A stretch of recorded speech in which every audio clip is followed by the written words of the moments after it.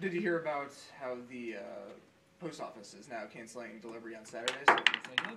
Uh, so we're you know interviewing people about uh, reactions to that. Uh, can you tell?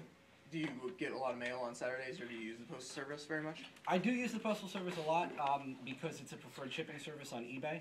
Um, I buy and sell a lot of stuff on eBay, and it's really, really easy to just do that through the postal service. Um, it is convenient for me to be able to receive parts on a Saturday when I'm buying them from eBay, and actually, I have stuff that's scheduled to be delivered this Saturday.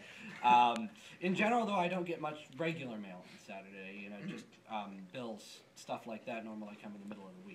Um, but for parcel delivery, that Saturday delivery option is really helpful. And you prefers? I, I use the postal service over UPS or FedEx because it's cheaper. Yeah. Um, it's much less expensive than UPS and FedEx. Um, and for packages where I'm not really needing to have expensive tracking on them, um, it is generally very quick and very cost efficient.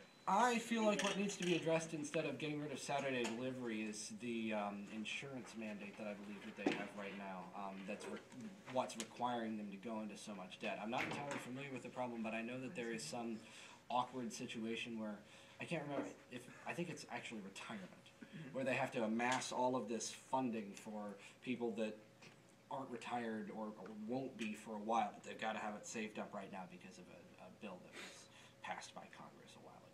I, I think that the more common sense way to get the post office out of debt, first off, is to encourage them to do more parcel delivery because I think that's you know what's more lucrative right now. People are still needing to buy things, and with internet um, sales, you know, for things like Amazon continuing to increase, um, the post office has the ability to make a lot more money there um, rather than with letters and bills and all that, since people are shifting to do that digitally. I think if they more aggressively marketed the fact that they're parcel delivery service as well, um, and then figured out whatever that awkward requirement is, I think that's the better way to cut costs. So you don't feel